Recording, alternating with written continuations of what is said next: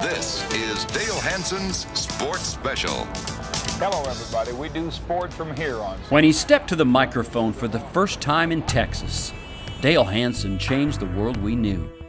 The former radio disc jockey turned sportscaster from Logan, Iowa, debuted at WFAA in Dallas in the spring of 1983. David Zurawik, writing in the Times Herald, said Channel 8 Sports Special will be a real good show if Dale Hansen can stay out of the way. People say I'm a smart aleck, I'm a jerk, I'm opinionated, I'm controversial, and unfortunately, they're probably right sometimes. Hope I can do that when I'm 76. Right now, I just want to be 36.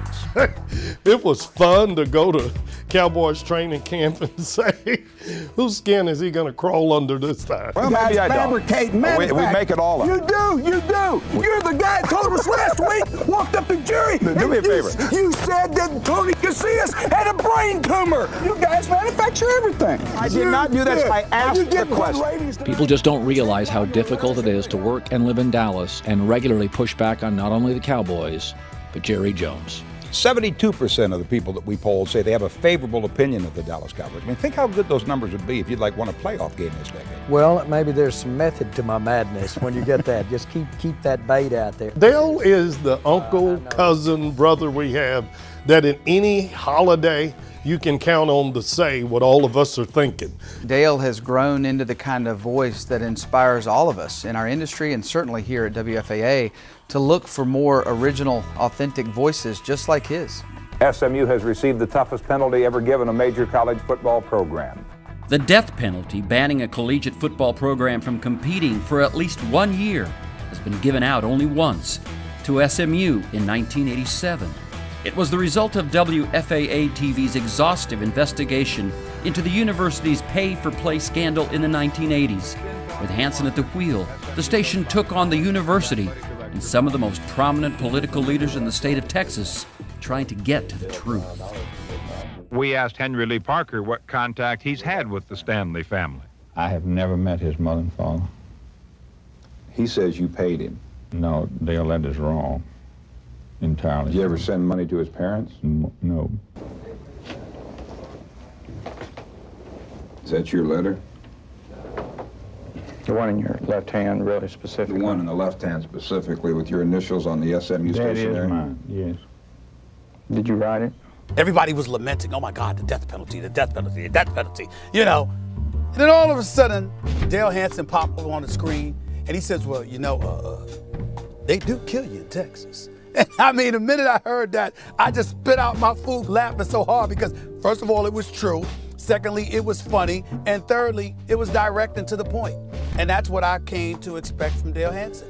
In the 1990s, Hansen started going unplugged, using his microphone to challenge us to see that power and privilege concede nothing without a voice. And if you don't think white privilege is a fact, you don't understand America. Dale's Unplugged is, is must-see TV. I don't ever remember seeing one that didn't make me take a step back and say, wow, I never thought of it quite like that. And You know what? He's right. If Hardy knocks on your front door to take your daughter out for a night on the town, the man you cheer now, you would shoot his ass through the glass. In a country where people of color are six times more likely to be incarcerated than white people, where rank is often based on race, sex, and wealth, his commentaries beg the question where's the acceptance if you only love those who are just like you?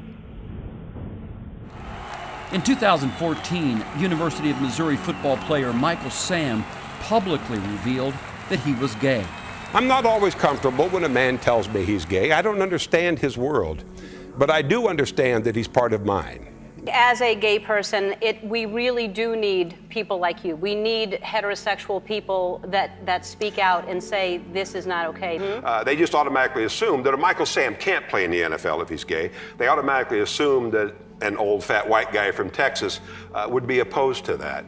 And I think we're slowly breaking down these barriers on both sides. Yeah, I agree. There's a part of Dell that is a defender of those who are weakest. I think if Dale's probably being honest, at least you know, my encounters with him, he, he, he certainly likes sports. I, I don't think sports is what motivates him. America's problem has come to Dallas now, and our lieutenant governor blames the peaceful protesters because our lieutenant governor is a fool.